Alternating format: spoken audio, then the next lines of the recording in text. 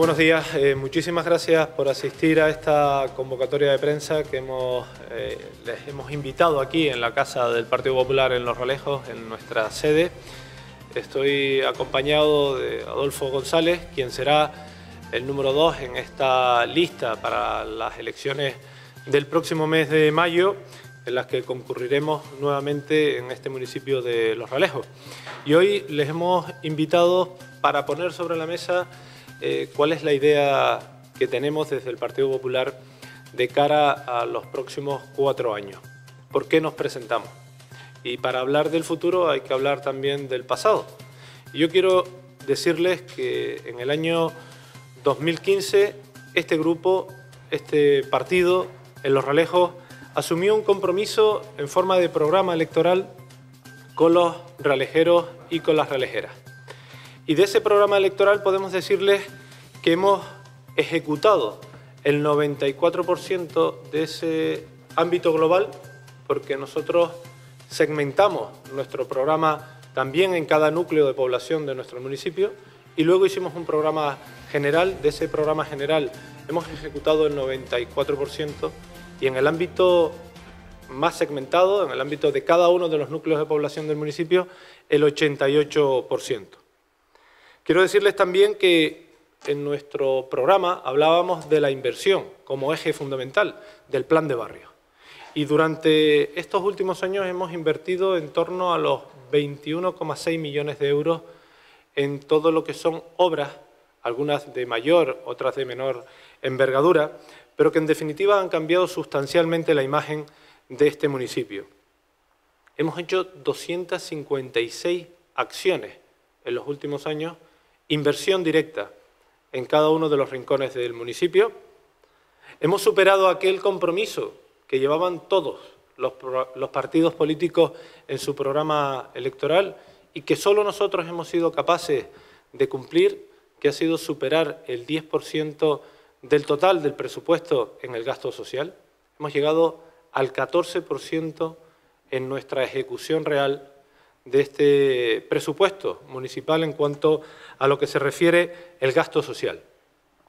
Hemos cumplido con la deuda, es decir, el Ayuntamiento de Los Ralejos a día de hoy tiene una deuda de cero euros. Hemos proyectado de forma creciente el presupuesto municipal superando los 30 millones de euros y todo ello sin subir los impuestos. De hecho, hemos sido sancionados por el Gobierno de Canarias por no subir los impuestos, por estar por debajo de la media en el ámbito regional. Muchas gracias, eh, candidato a la alcaldía y alcalde y compañero y amigo eh, Manolo Domínguez.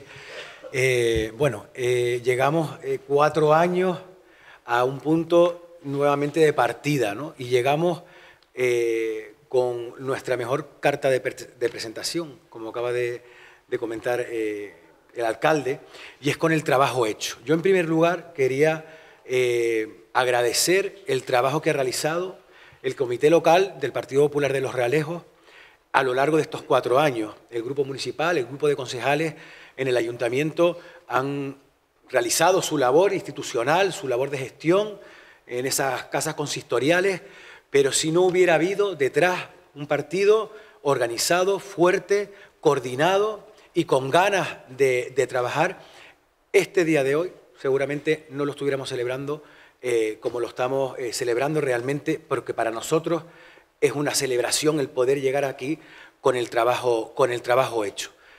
En primer lugar, y valga la redundancia, agradecer de verdad eh, la buena salud de esta formación política en el, municipio de Los Realejos.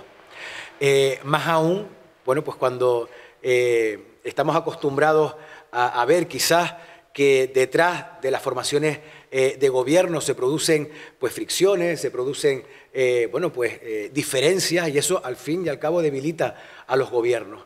En los ralejos yo tengo que afirmar como presidente del comité local que ese trabajo que ha hecho el Partido Popular de los Realejos es el cimiento fuerte de este trabajo que presentamos en el día de hoy. Y valga desde aquí mi agradecimiento a todos los compañeros y compañeras que han trabajado durante todos estos años y que retoman con muchísima ilusión y con muchísimas ganas este nuevo reto del Partido eh, Popular para los próximos eh, cuatro años.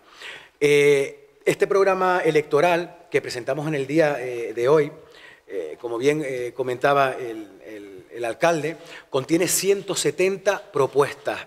Y además 170 propuestas que son fruto, primero, del diálogo social.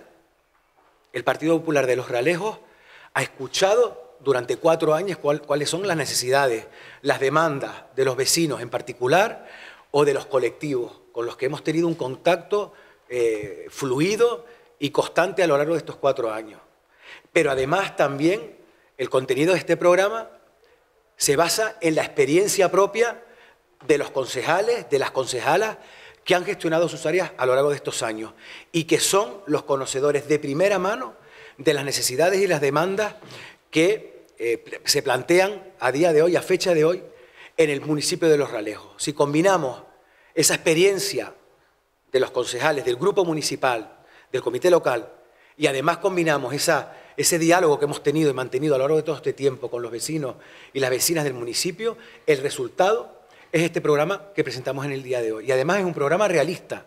Si hemos llegado y hemos logrado eh, llegar a un cumplimiento del 94%, del programa electoral que presentábamos hace cuatro años y hemos llegado a un grado de cumplimiento del 94%, estamos convencidos que este documento que presentamos en el día de hoy, dentro de cuatro años, nuestro reto es llegar como mínimo al cumplimiento del 94% como mínimo del contenido eh, de este documento. Aquí podemos hablar, nos encontramos propuestas tan variadas como la creación de eh, parques deportivos al aire libre, para la práctica en los barrios, de esta práctica conocida últimamente como es el calistenia, e irnos, por ejemplo, a la creación de un educador de calle. Podemos partir desde un proyecto de señalización patrimonial y turística en los conjuntos históricos para llegar a la creación, por ejemplo, de una nueva unidad de atestados en la policía local. O podemos partir, por ejemplo, desde la puesta en marcha de un plan de lucha contra la soledad de nuestros mayores en el municipio de Los Ralejos para llegar a un proyecto concreto de instalación de bucles, de bucles magnéticos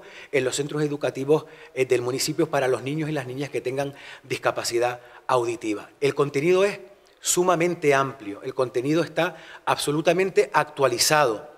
Hay muchas cuestiones que se plantean en consolidar y ampliar los servicios que hemos logrado poner en marcha durante estos años.